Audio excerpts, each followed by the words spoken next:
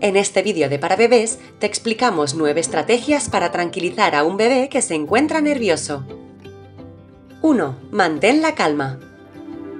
2. Deja que juegue y se entretenga solo. 3. Reduce la estimulación externa. 4. Cógelo. El contacto físico ayuda a relajar al bebé. 5. Camina. Entre las técnicas para relajar a un bebé nervioso se encuentra pasear con el bebé en brazos. 6. Arrúllalo. 7. Hazle un masaje. 8. Báñalo. 9. Utiliza los ruidos blancos.